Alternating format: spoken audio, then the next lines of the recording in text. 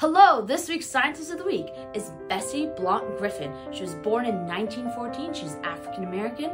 She was born in Hickory, Virginia, died at the age of 95. While she was young, she didn't really have much access to education. They only had this one school room for all the black and, uh, and Native American kids in the area.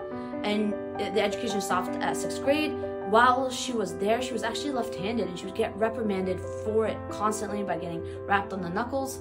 Regardless, she taught herself how to write with her right hand and eventually actually how to write with her mouth and feet, which came into use later on. Then her family moved to New Jersey where she continued self-educating. She then went and got a nursing degree and then became a physical therapist, which was useful for when after World War II a lot of soldiers were coming back with injuries. She actually helped invent a feeding tube that could be used completely independently with the soldiers being able to just bite down. On top of that, she created a neck, neck brace with a bowl attached to it so, people, so soldiers can drink out of it. But weirdly enough, because of her ability to be ambidextrous and then write with her mouth and feet, she taught soldiers how to do so if they had no ability to write with their hands. And then she became a forensic scientist and focusing really a lot of, on the writing techniques and just being able to analyze people's writings.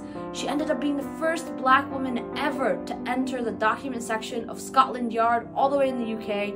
Um, she was able to analyze if somebody's health was declining just from observing their handwriting. If you want to learn more about Bessie Griffin, definitely check out the link below and stay tuned for more Scientists of the Week.